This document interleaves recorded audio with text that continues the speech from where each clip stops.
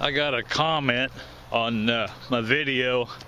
I hate television and why. Watch it and you'll you'll hear me explain it. Anyway, the, the comment was from a viewer and they said, and a quote, they would rather read a book than watch TV. Well, I agree with them, but I'm not into books online. I read everything online. Everything. My neighbors was talking. Now, you know, I've been doing that for 13 years. Strong, heavy.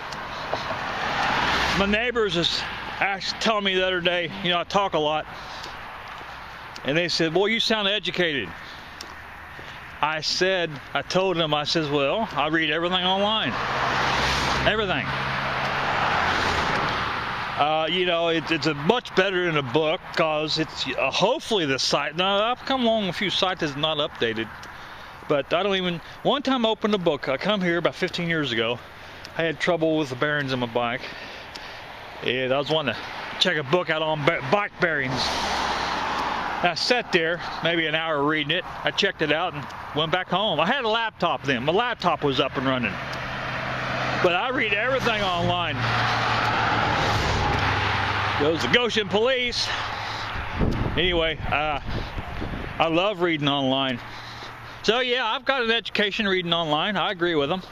I really have. That's why they call it the information superhighway. Let's face it. It's what it is. It's the information superhighway. Take classes online. Why not? I mean, uh, just makes more sense. I mean, what's better than that? Instant information. Seeing where the Postal Service is going to stop delivering Saturday mail, I don't know when that's a, a final. Who wants to wait three days for a letter, huh? I can understand why emails took over. You know, there's good and bad about everything. I don't care what it is. Uh, but no, I read everything. It looks like a storm coming. But uh, a little, maybe a little cooler today. Still nice out here. I still feel spring. In, I still feel the uh, feel spring in the air.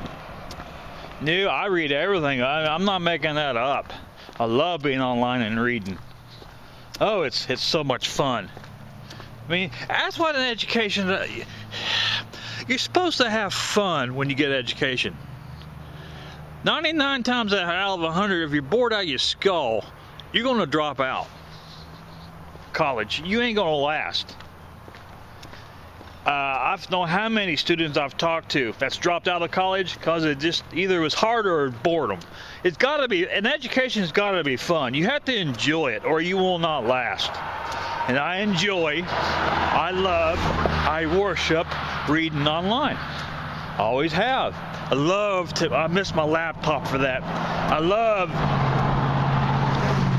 everything on my laptop. Oh, I go to the bike trail where the Wi-Fi and read online. Get, get in the evening where the sun didn't glare my screen. But uh, yeah, I've, I've got an education online. Yeah, after 13 years of hard reading, heavy reading, I loved every second of it. Yeah, it's educated me, of course.